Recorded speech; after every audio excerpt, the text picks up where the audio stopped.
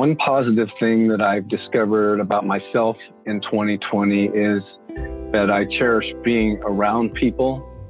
I'm, fa- I'm a fairly isolated loner type person and didn't realize how important being around people physically, how important that what important that was to me. And so um, I'm turning that as into kind of a positive. It could be a negative that I miss being around people, but for me it was that I realized that I really need that. So positive.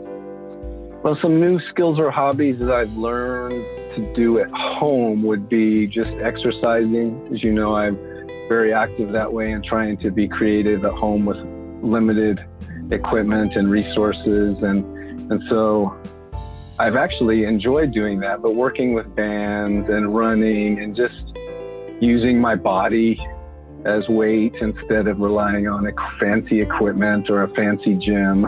you know, just making use with what I have.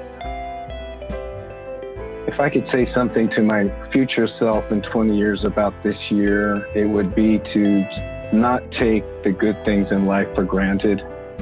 And I, I certainly have this year contemplated all of the things we used to be able to do without thinking about it, but just, you know, having our health and being able to be around family and people and coworkers, it's so important and to not take it for granted.